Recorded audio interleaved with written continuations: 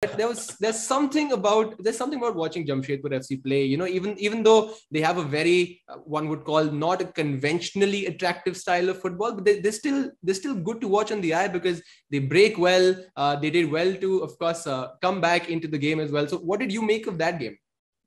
No, I think uh, uh, to kind of put it a bit of shadow boxing, isn't it? And then we had a bit of literal boxing as well on the corner flag.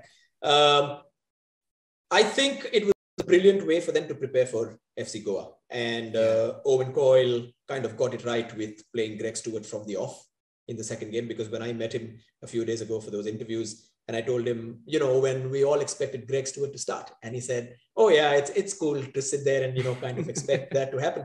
But then when he started him in the next game, two fantastic assists, and his delivery, his delivery uh, is going to be very very vital. Bengaluru scored a lot of goals as well from talking about deliveries. The Roshan's delivery was also fantastic from the corners. But Greg Stewart, I expect him to get a lot of assists this time.